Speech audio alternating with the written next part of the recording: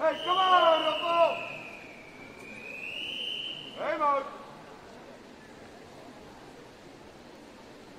Op uw plaatsen.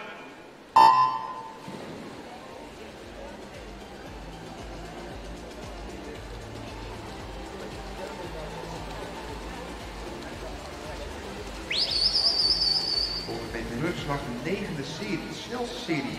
Jeugd 1 en 2.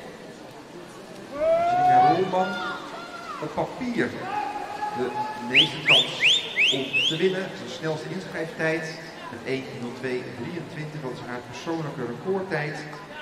En ze keert dan ook als eerste nu in 30.03. 30.03 betekent dat ze ietsje langzamer, langzamer is dan haar PR-tijd.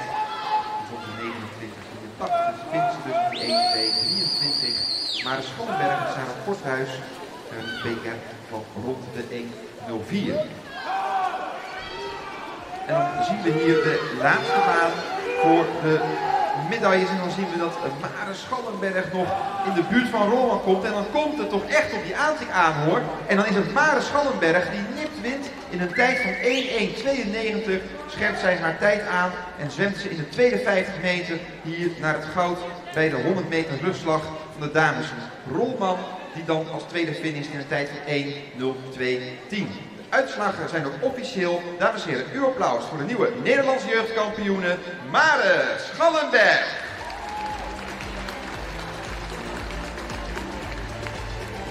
Wij gaan verder met serie 10.